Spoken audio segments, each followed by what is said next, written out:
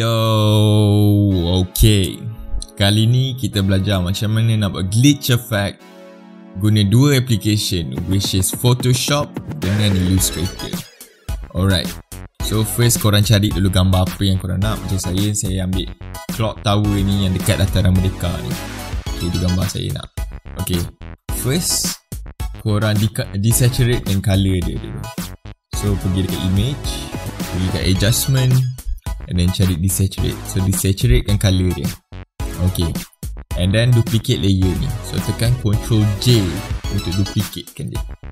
Okay lepas dah duplicate tu korang pergi kat layer style. So double click je kat tepi ni. Yes. Layer style. Alright. So dalam layer style ni nampak dekat bahagian ni channel ni korang tutup red tu. So tinggalkan green dengan blue saja Okay. So Bila korang buat ni Korang akan dapat anaglyph effect. So korang tekan shift And korang tekan Kiri atau kanan Nampak tak? So korang boleh buat anaglyph ha.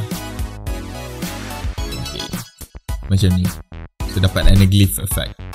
And then Dah siap tu Macam saya Saya nak buat dia macam Glitchy-glitchy sikit. So Pakai Mark Q tool ataupun M untuk shortcut dia. Korang just tarik ya, mana ya, macam ambil sini sikit. Ok and then tekan V shortcut untuk move tool ni. So gerakkan sorry tekan layer dulu. Ok so ok and then deselectkan dia. Tekan ctrl D. And then tekan M balik. Tarik balik macam Okay Tekan V. Gerakkan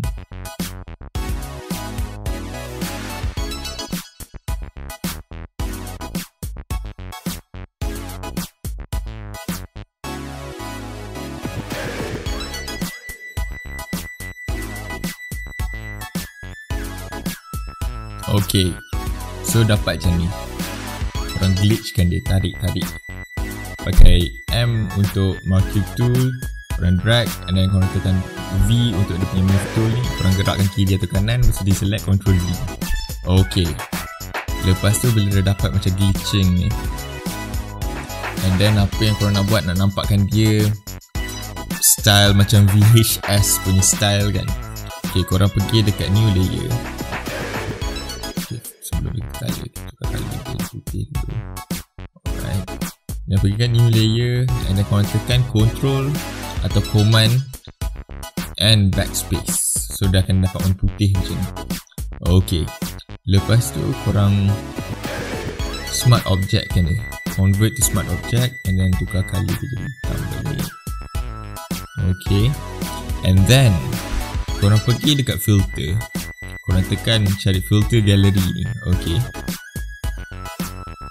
pergi dekat sketch bahagian sketch ni. Korang tekan half tone. Ok and then tukarkan dots ni jadi lines. Alright. And then korang tukar lah ambil ni dalam 50 ya. Ni dalam 4 ok alright. Dapat berline macam ni kan. And then tengok eh. Ini akan dapat effect VHS punya effect So, korang pergi kat blending mode ni Korang tukarkan dia jadi overlay. Oh, nampak tak? Macam VHS kan? Okay. And then Korang tukar size uh, Korang ambil dalam fill dia dalam 20 Okay, 20% lah, okay. So, nampak tak? Okay, ada line-line-line lah. Nampak macam glitching kan? Okay itu untuk Photoshop. Okay Dalam Illustrator pula. Okay So kat tepi ni Ni ada palette And hex code dia. Kalau korang nak tiru macam saya Korang boleh ambil kat sini. Okay so first sekali Korang buat background. Buat Background dulu. Ambil rectangle tool Korang drag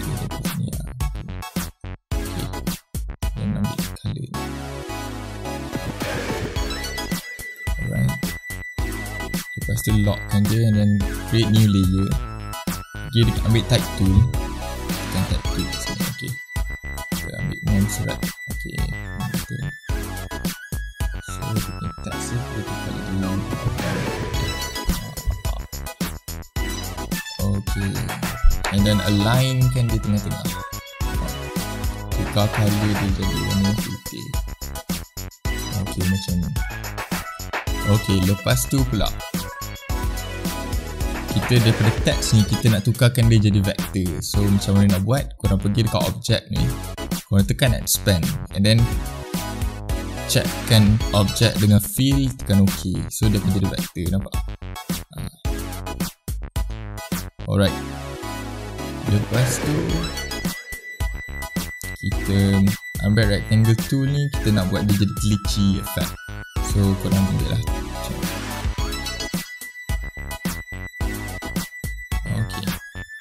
and then korang tekan semua ni korang klik semua ni.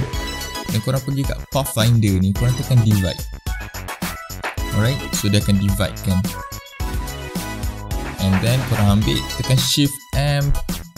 Atau tekan shape builder tool ni tekan alt and then buang lah sakit baki di tepi ni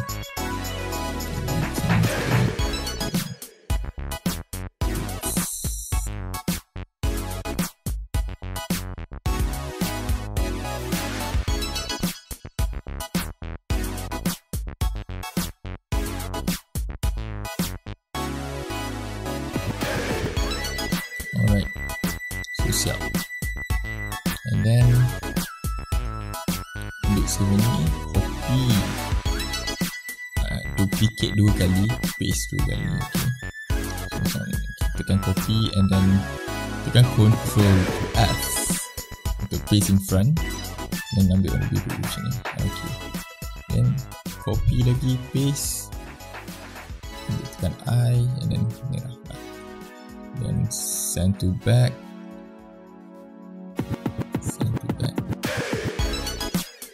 Okay Lepas tu korang nak gerakkan dia. Okay so kita ambil warna merah ni kan. Tekan button ni. Dan kita gerakkan dia ke kanan sikit. Ha, So nampak? And then yang warna biru ni pula Kita ke kiri kan sikit. Ha, Macam ni. So nanti akan nampak lah macam anaglyph kan. Anaglyph effect. Nampak. Kalau korang tak perhati korang boleh adjust lagi lah. So saya, saya rasa okay kan Alright. And then Ungroupkan semua ni groupkan dia semua. Okey. Lepas tu tekan control Y untuk tengok dia punya line. Ha, macam ni. Lepas tu okey. Kita nak glitchkan dua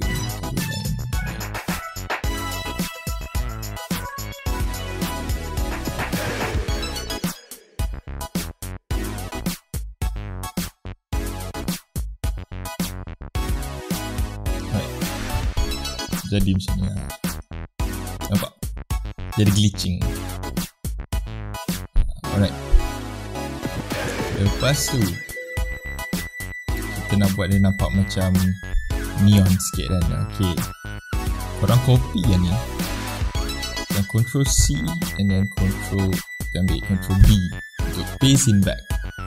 Lepas tu korang pergi dekat gradient. Gradient kan dia. And then dia gradient ni ambil colour dia warna biru. So, untuk belah kiri ni ambil warna biru ni. Dan kanan ni dia ada warna hitam. So location dia ambil dalam 30% ok lepas tu dekat property dekat opacity ni. Ambil screen. Ok lepas tu try. Cuba gerakkan dia ke kiri. Nampak tak Ah, atau maybe reverse kan ok dia akan nampak jadi macam ah, macam ni. Dia akan nampak macam ah. dan korang boleh buat lagi. Ini kau copy atau listen sikit. Copy control B. Apply kan sebelum korang just paste ya. Copy dengan gerak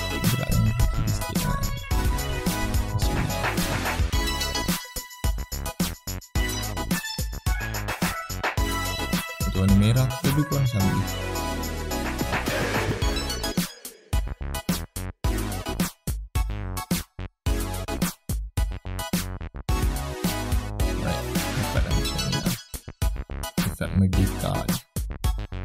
Okay.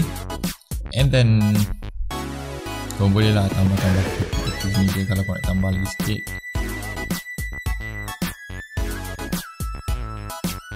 Buatlah macam-macam ni yang kau nak. And then last sekali. Korang ambil semua ni. Satu layer ni. Okay Kalau boleh terus drag Dan masukkan dalam Photoshop. Boom. Ah, There you go. Alright, itu je lah glitch effect untuk tutorial kali ni. Okay. Thank you kerana menonton video ni sampai habis. Kalau video ni membantu, jangan lupa untuk like, subscribe and dekat sebelah subscribe button tu, tekan loceng tu. Kalau ada video baru keluar nanti, confirm loceng tu bunyi. Alright, thank you support. Ciao.